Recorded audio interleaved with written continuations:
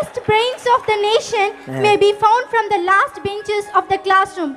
Could you please tell us what made you to believe in the last bench student? Because I was the last bench. Even I do, sir. sometime, sometime on the last bench. Most of the time the first bench. But I felt the last bench and everybody has got some knowledge. Every human being has got some knowledge.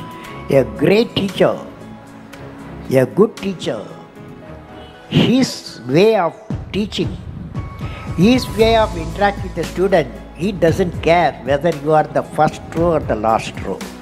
For him, everybody a student. For her, everybody a student.